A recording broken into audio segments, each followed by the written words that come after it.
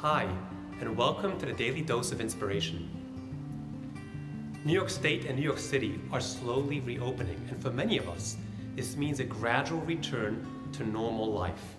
So, with this in mind, I'd like to share with you a short story. There was once a rabbi who walked into his classroom with a big pot. Today, students, I'm going to teach you how to make cholent. Cholent is the traditional stew that we eat on Shabbat afternoon. And then he took out a bag of potatoes and filled up the pot all the way until the top. Students, is the pot full? Yes, you can't even fit one more potato in there. Well, then the rabbi took out a bag of barley and proceeded to pour the barley into the pot, and the little pieces of barley found their way in between the potatoes. And he continued until the pot was completely full. You couldn't even fit one more piece of barley in. Is the pot now full? Yeah, now it's full. The rabbi took out a jug of water and poured the water into the pot, and the water made its way in between the barley and the potatoes until the pot was full. Then the rabbi turned to the students. Today, I taught you not only how to make cholent, but also how to make a life. You see, the potatoes represent the important things in life, whereas the barley and the water represent all the other things that need to get done, but at the end of the day, they're just not that important.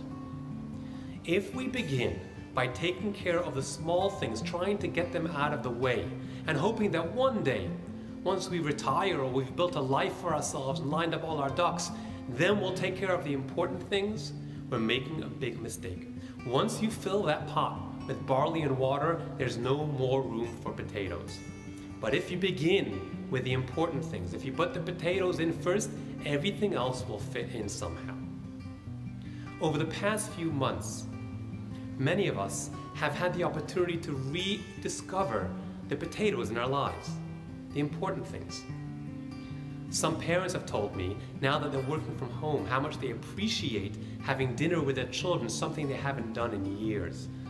Others have told me they've studied more with the online classes and daily videos than they've studied in an entire lifetime. lifetime. Others have taken the time to develop and nurture and discover their inner selves.